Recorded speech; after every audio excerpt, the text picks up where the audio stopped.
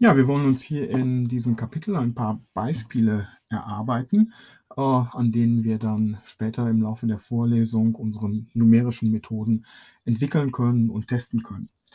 Ähm, dazu brauchen wir eine Grundidee von gewöhnlichen Differentialgleichungen. Und äh, gewöhnliche Differentialgleichungen haben Sie kennengelernt ganz am Ende der Analysis 2. Und äh, ich weiß, das ist ein Thema, äh, das dort nicht besonders groß besprochen wird. Für uns ist es tatsächlich ein ganz wichtiges Thema. Ähm, deshalb würde ich Sie bitten, und das ist die erste Leseaufgabe, ähm, diese, diese Teile Ihres Skripts äh, zu wiederholen, also diese Teile der Analysis 2 zu wiederholen und zwar brauchen wir im Augenblick eigentlich nur die Definition von gewöhnlichen Differentialgleichungen, dass Sie da wieder so ein bisschen reinkommen. Und das können Sie tun, äh, entweder anhand Ihres eigenen Skripts, irgendwo äh, muss das mal vorgekommen sein, ganz am Ende der Analysis 2, äh, oder Sie können es tun anhand der, ja, der ersten Bemerkungen, die der Forster 2 macht äh, zu gewöhnlichen Differentialgleichungen. Oder Sie können das tun mit Hilfe meines Skripts zur numerischen Analysis. Und da habe ich ab Seite 72 mache ich genau das, nämlich ich erinnere noch mal so ein bisschen an alte äh, Sachen, die Sie hoffentlich kennen aus der Vorlesung. Okay, ähm, ich möchte das hier ganz kurz mal durchgehen und ich habe das Skript hier schon mal vorbereitet. Ähm, da gibt es zunächst mal am Anfang drei sehr triviale Beispiele. Das ist zunächst mal nuklearer Zerfall. Das ist so das Beispiel für gewöhnliche Differentialgleichung, für eine, möglichst einfache gewöhnliche Differentialgleichung und beschreibt, wie sich die Anzahl der Teilchen einer gegebenen nuklear aktiven, radioaktiven Probe über die Zeit verhalten. Dann haben wir hier ein äh, Räuberbeutemodell, die einem sagt, äh, wie sich Fuchs, Füchse und Hasen in einem Wald, wie sich die Populationsgrößen entwickeln über die Zeit in einem ganz, ganz, ganz, ganz einfachen Modell. Und äh, hier unten haben wir eine Sache, die eigentlich nur eine Bemerkung ist, äh, nämlich die äh, Geschwindigkeit lässt sich meistens interpretieren einfach nur als äh, die erste Ableitung. Also die Geschwindigkeit, mit der sich eine Größe verändert, ist nichts anderes als die erste Ableitung. Die Beschleunigung äh, ist die äh, Geschwindigkeitsänderung und ist damit einfach nur die zweite Ableitung der Größe. Okay, äh, lesen Sie das einfach durch und äh, ich hoffe, das meiste wird Ihnen direkt wieder einfallen. Und das Einzige, äh, was ich jetzt brauche, ist, dass Sie äh, zumindest mal ähm, verstehen oder sich wieder ins Gedächtnis rufen, was ist eigentlich nochmal eine Differentialgleichung. Und äh, die einfachste gewöhnliche Differentialgleichung, die habe ich bereits kennengelernt auf der Schule. Ich denke, Sie haben das auch zumindest mal als so ein Gag irgendwann mal kennengelernt. Und äh, zwar, ja, ich hoffe, Sie können das hier sehen. Da steht jetzt Fehler. Ich hoffe mal, das ist ein Fehler. Okay, gut. Und äh, die einfachste Differentialgleichung, die ich kennengelernt habe, war, es hieß mal in irgendeinem Schulbuch, suchen Sie doch mal eine äh, Funktion, deren Ableitung gleich sie selbst ist. Und äh, naja, das ist relativ einfach. Ja? Also ich kann das äh, zumindest einfach hinschreiben. Ähm, es ist nämlich, ups, vielleicht sollte ich das jetzt hier ein bisschen anders gestalten. Es ist dann nämlich y' Ups. Na, jetzt komme ich hier nichts hin. Also machen wir das nochmal. y' von t gleich y von t. Das heißt, wir suchen eine Funktion y mit der Eigenschaft, dass die Ableitung gleich der Funktion selbst ist. Ähm, ja, was fällt einem ein? Also, dass die Lösung ist y gleich e wäre mit Sicherheit eine Lösung. Ja, die Ableitung von E hoch t ist E hoch t, also kommt das tatsächlich gerade hin. Okay, äh, man stellt äh, sehr schnell fest, es ist nicht nur E eine Lösung, sondern es ist natürlich für jede Konstante ist auch c mal hoch t Lösung dieser Aufgabe. c mal E hoch t, die Ableitung davon ist wieder c mal E hoch t, also tatsächlich ist es eine Lösung.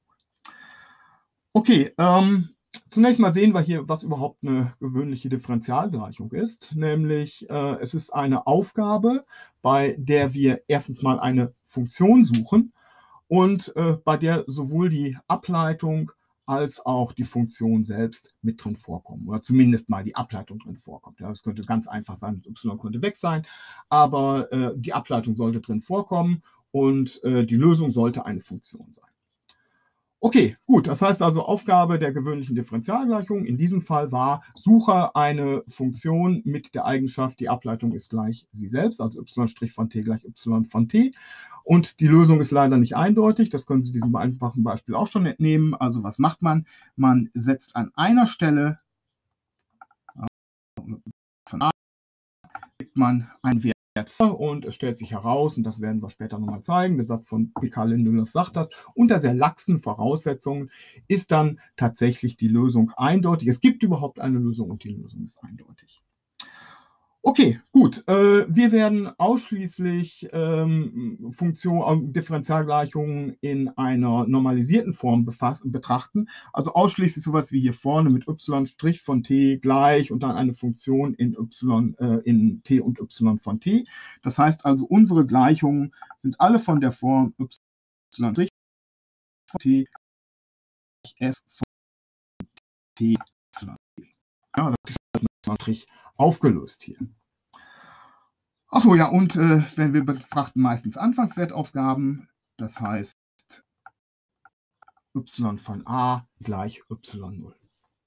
Und denken Sie ruhig bei dieser ganzen Aufgabe immer daran, wir, wir suchen ähm, eine Funktion, die sich beschreibt, wie ich irgendwas in der Zeit, ähm, in der Zeit verändert oder in der Zeit verhält. Das heißt also zum Beispiel, wie die Anzahl der, ähm, die Anzahl der Teilchen in einer nuklearen Probe, wie verhalten sich die über die Zeit, wie viel sind nach einer gewissen Zeit noch da. Das ist sowas, was uns diese gewöhnliche Differentialgleichung liefert. Oder eben auch die Anzahl der Füchse und Hasen. Dieses zweite Problem mit den Füchsen und Hasen zeigt uns schon, naja, manchmal suchen wir nicht eine Funktion, sondern wir suchen zwei Funktionen. Äh, in dem Fall waren es, glaube ich, ich habe es jetzt nicht genau im Kopf, aber nehmen, nennen wir die beiden mal h von t, groß h von t und groß f, das soll zum Zeitpunkt t beschreiben die Anzahl der Hasen und die Anzahl der Füchse. Und äh, naja, also irgendwie ahnen wir schon, äh, die wird auf jeden Fall natürlich die Anzahl der Hasen im nächsten, in der nächsten Generation, die werden auf jeden Fall irgendwie abhängen von der Anzahl der Füchse und von der Anzahl, aktuellen Anzahl der Hasen. Das heißt also, wenn wenige, wenn wir viele Hasen haben, dann gibt es auch viele Nachkommen. Oh, wenn wir viele Füchse haben, werden viele davon weggefressen.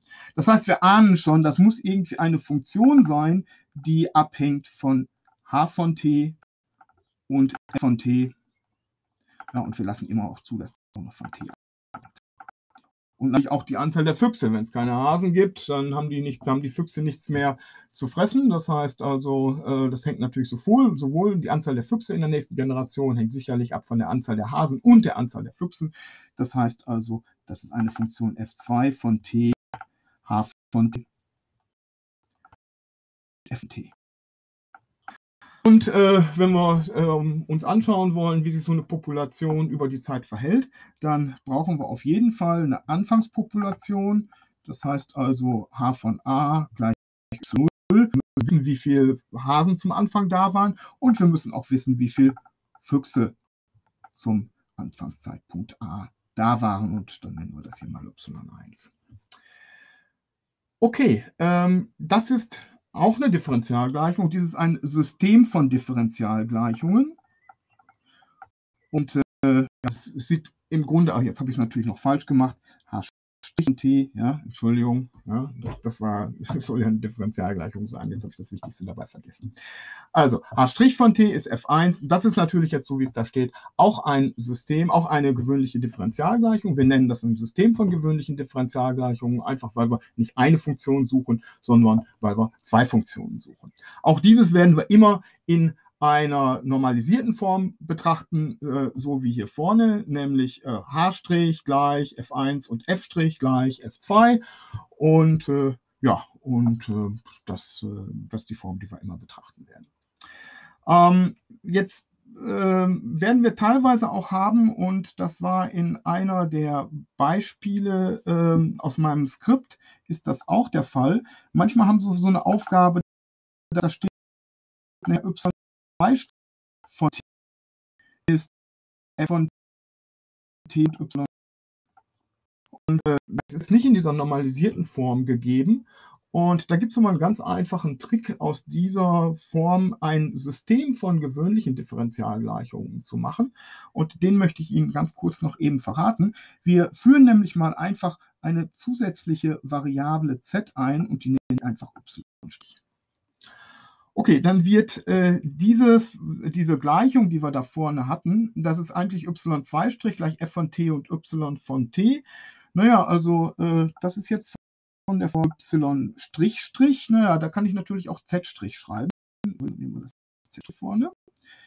z' von t ist gleich f von t und y. Dann noch ein schreiben, ja. Das, der, der Parameter fällt dann eben einfach weg.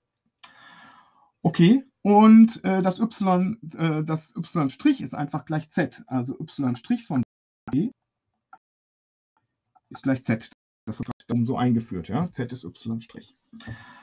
Okay, jetzt sehen Sie erstmal, das ist ein System von gewöhnlichen Differentialgleichungen, ne? denn äh, das sind zwei Differentialgleichungen, die sind beide in Normalform. Ja? Auf der linken Seite ist immer schön aufgelöst nach z' und y'. Und äh, naja, das ist wieder, ist halt einfach nur ein, ein, System von Differentialgleichungen. Und natürlich ist das y jetzt auch eine Lösung von y2' gleich f. Das bedeutet, äh, dass wir es hier geschafft haben, diese etwas seltsame Differential Differentialgleichung y2' gleich f ähm, zu übertragen, zu konvertieren in ein System von gewöhnlichen Differentialgleichungen, die alle in Normalform sind.